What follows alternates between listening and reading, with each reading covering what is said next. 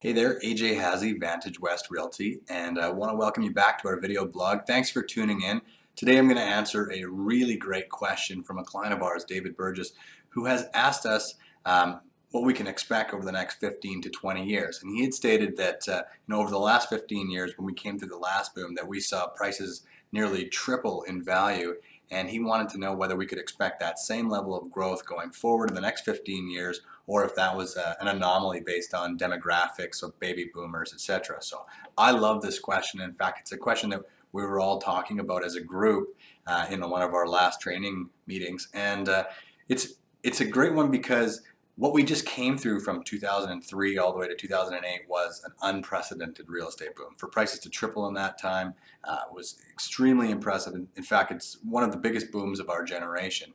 Now, everyone, of course, realizes that it was followed by one of the largest slumps of our generation, and we gave back nearly 20% of that, uh, that equity climb. So we saw a majorly dramatic boom followed by a majorly dramatic slump. And now as we come through a recovery and we're at the tail end of recovery moving into our next boom, we've, uh, we've clawed back about 10% of those values. So we're definitely on the way up. So what does the future hold? And the second part of that question, of course, was, was it a demographic thing with, with the baby boomers and is that an anomaly? So um, Firstly, I want to preface this by saying I don't think we'll see the same kind of boom that we saw in that period of time. What we'll see is a, a more sustainable, uh, a slower growth, something that's more in line with the 80-year average of real estate, which is 5.7%. That's uh, you know the pricing index over the last 80 years says that real estate goes up about that rate. I think we'll slightly outperform that over the next uh, three years, but in the next 15 or so, we'll be right on par with what would be normal for a market. We've entered into a much more normal period. But on the point of demographics, this is really key.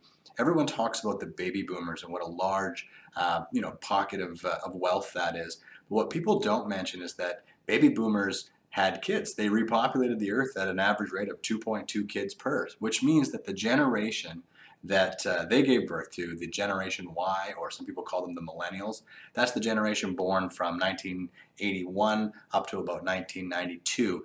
Now, this is my generation. I'm the at the very oldest portion of that, but what we are seeing now is that that Generation Ys have just entered into their home buying years, and this is the largest demographic in the history of uh, you know that's much bigger than the baby boomers, which was up to this point the largest demographic people were looking at from an economic standpoint. So the Generation Ys are going to be what drives the market for the next 10 to 15 years, as they are now.